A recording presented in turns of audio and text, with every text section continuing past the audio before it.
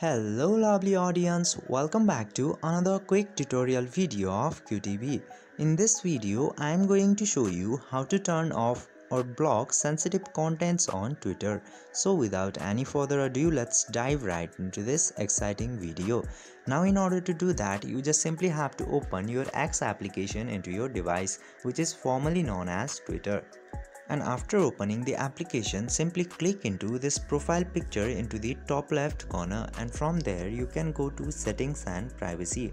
Just simply go into settings and privacy and you will find this privacy and safety option into settings.